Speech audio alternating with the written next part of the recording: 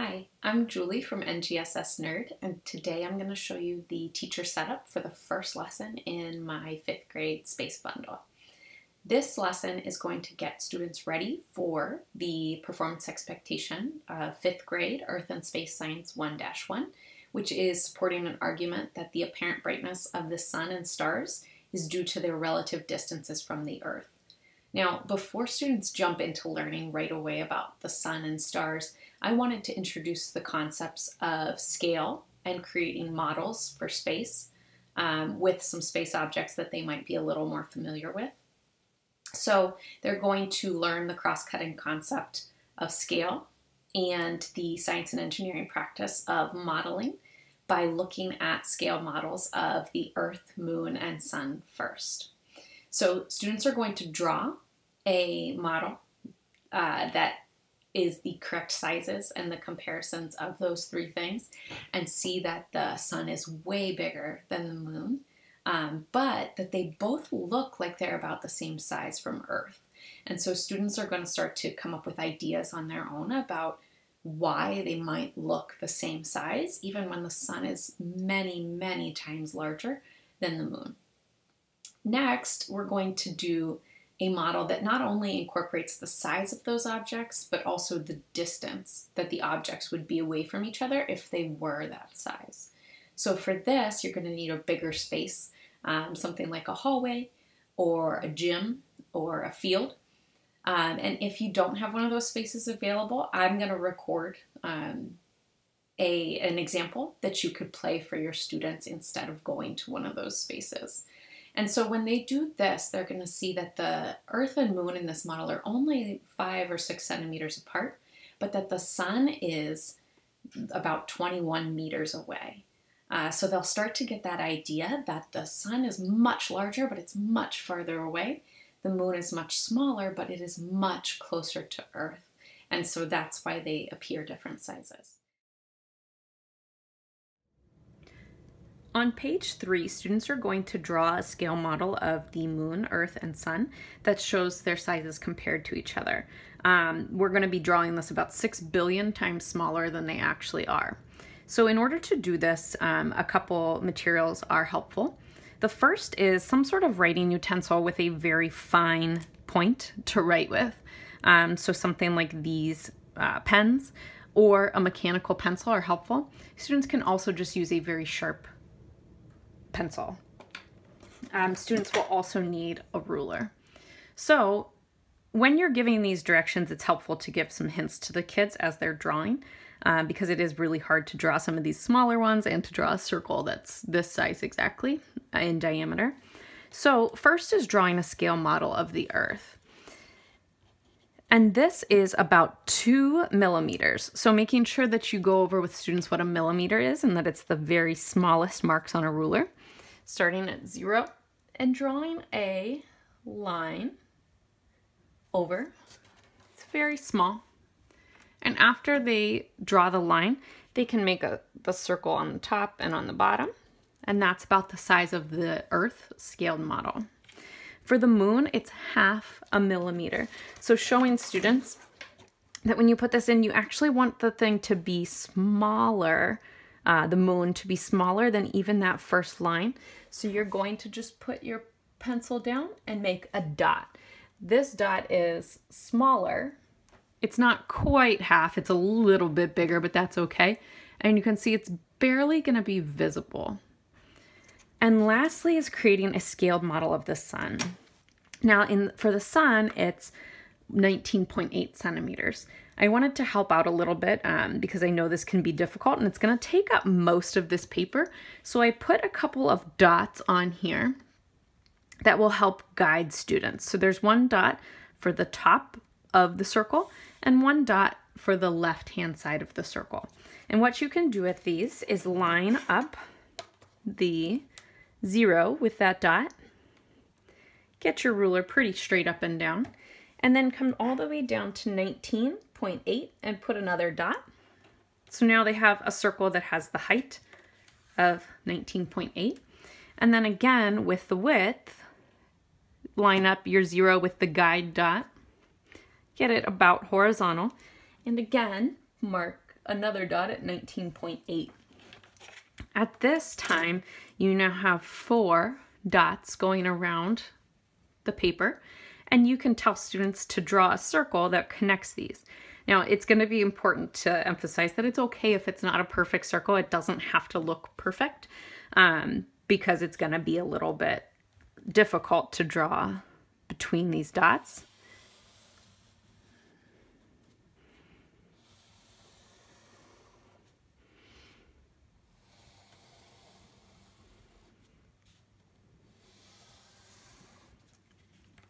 And now you can see the very the small earth here, the even smaller moon, and a much, much larger sun. So now we're going to create a model that doesn't only look at just the scaled size of the Earth, Moon, and Sun, but also takes into account the distance that they would be if they were those scaled sizes that the students just drew. So there's a um, couple sheets for the teacher guide um, that you can cut out to help you with this model. You cut out the sun and then cut each of these out along these dotted lines to be different labels and pieces of the model. So first um, is this tiny little piece that doesn't look like it has anything on it, um, but this is that two millimeter earth. Uh, right here, if we can see, is the half a millimeter moon, and this is the distance they would be away from each other if they were these sizes. So wherever you are um, for your model, you would put this down on the ground so that students could see the distances between. And then you can put the labels by those. So I'm going to be going outside um, and so I put mine on two little skewers that I had in my kitchen. Uh, so I'm going to actually stick these down into the ground. But you could also have a student just hold these next to it and be in charge of it, or you could lay it flat down on the ground next to it as well. So there's one for the earth, and then one that you would put next to the moon. And then you'll need to take the sun to the distance it would be away from these. And it's pretty far. Uh, so in this model, it is 70 feet or about 21 meters. Um, and so I don't have one of those really large rolling measuring tapes. Uh, that would be really great for this activity uh, so that you could just stretch it and keep going until you get to it. Uh, but I took some yarn, a lot of yarn, it's basically like a little ball of yarn by itself, and I pre-measured out 21 meters. So I would have um, maybe one student hold the end right next to where the earth is on this. So we would hold it here and another student take it all the way to where it ends.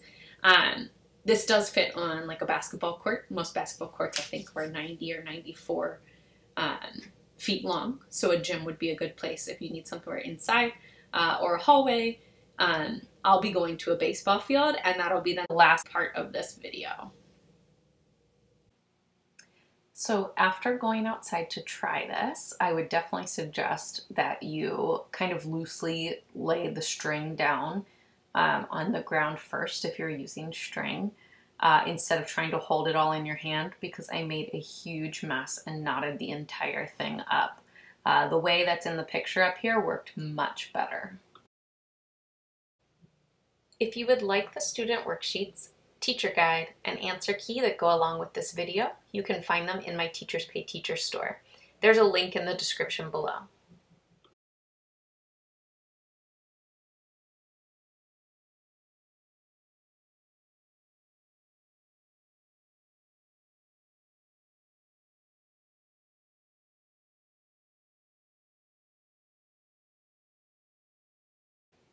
You just drew a scale model of the sizes of the Earth, Moon, and Sun.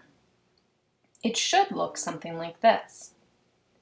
The Earth is actually really huge, but on your paper, in your model, it looks very small.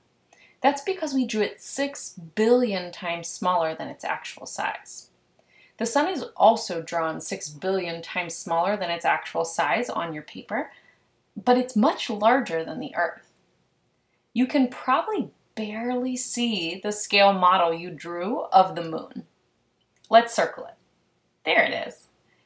The moon drawn six billion times smaller than it really is as well is barely a dot on your paper.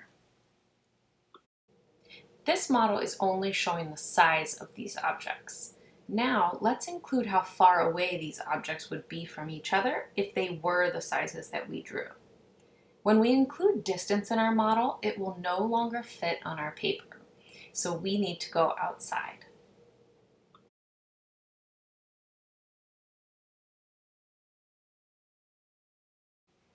The first thing I did to create my new model was to put a piece of paper on the ground that represents the Earth and Moon sizes and how far away they would be from each other. So if the Earth and Moon were the sizes that we drew earlier, they would be only about 5.5 centimeters away from each other. How far do you think the Sun would be from the Earth in this model? Let's see if your predictions are correct.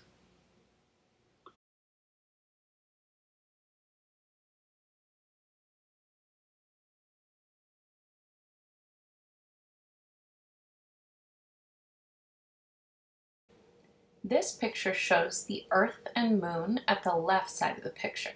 They are so close together that it's difficult to show their separation in this picture. On the right side is how far away the Sun would be in our model. The distance is about 21 meters, or 70 feet, away from the Earth. How close was your prediction? Let's finish up this model by looking at the Sun from the perspective of Earth. When we're standing at the Earth marker, how big does the sun look compared to how large you know it was when you drew it in your model? Why does it look this way? Now go back to your packet and answer the analysis questions to start drawing your own conclusions about this model.